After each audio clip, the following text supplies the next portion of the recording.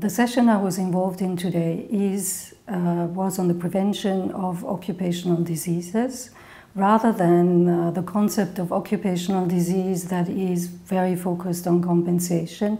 We should move to a focus on work related disease where work is a contributing factor.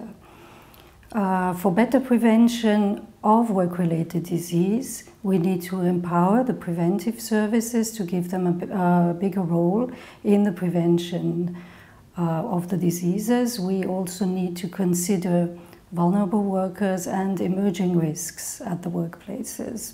The prevention of work related disease also goes through empowerment of workers.